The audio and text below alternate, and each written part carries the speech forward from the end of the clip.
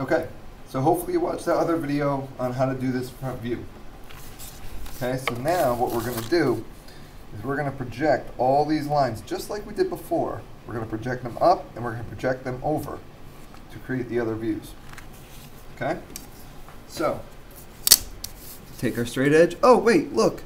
If you're using graph paper, your lines are already there. But just for practice, remember, we're going to do these super light so we can erase them later. That is way off. Okay, make sure you stay right on those grid lines. Again, not looking for perfection, just looking to, um, you try and learn, you know, something. Okay, so say we want to start the top view. Put it, I know, this focus is weird. Alright. So we're going to line up that grid line, or projection line, and that projection line.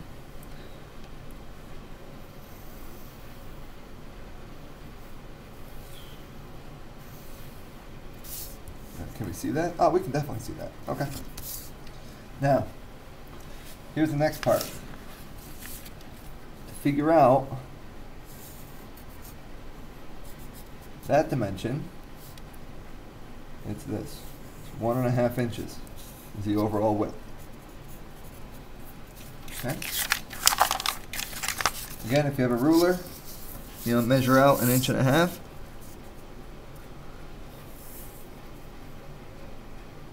If you don't, just count the blocks. Okay, inch and a half on that one. And we have got, and again, these blocks are not perfect, but copiers do weird things. And then you're just going to connect it across. Okay, use the graph paper as guide. If you're using loose leaf or a blank sheet, you know, try your best. And we want to darken these ones in. Alright, because in the top view you will see those lines. Okay.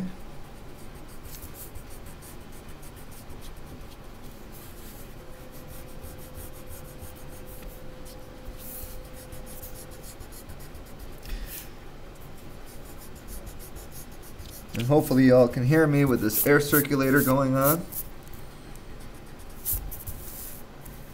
Okay, so so far we're good. We have that coming up. We have a front view. We have a top view. Okay, the next step is going to be creating that right side view. Again, projection lines. If you're using graph paper, they're already there. You're going to take it from pretty much every corner on that block. Whoop! Even this one right there. That one was way off. Oh, wow. How did I even get a tech job? Because I know how to fix it. Okay.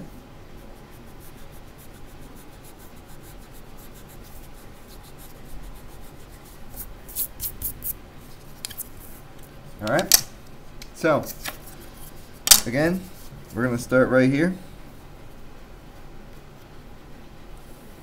And we're just going to choose a line a little bit close to the edge to make this line right there.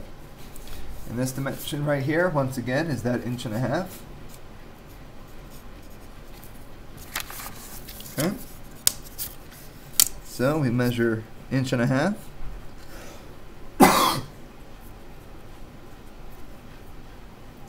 Make sure it's nice and dark. These object lines have to be nice and dark. I have old eyes.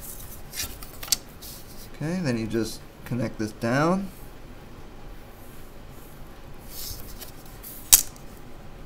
And then connect this over.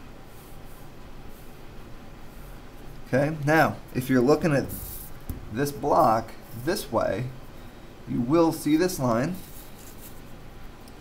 So let's make sure we darken this one up but you won't see this line. So again, that's where our hidden line comes from. And I know it's really hard with this uh, dark graph paper. We'll make a nice dash line. Hopefully you can see that, that it's dashed. Okay, and that is all you need to do. Oh, almost forgot. Make it look nice, Mr. Travis. Alright. Want to erase our projection lines.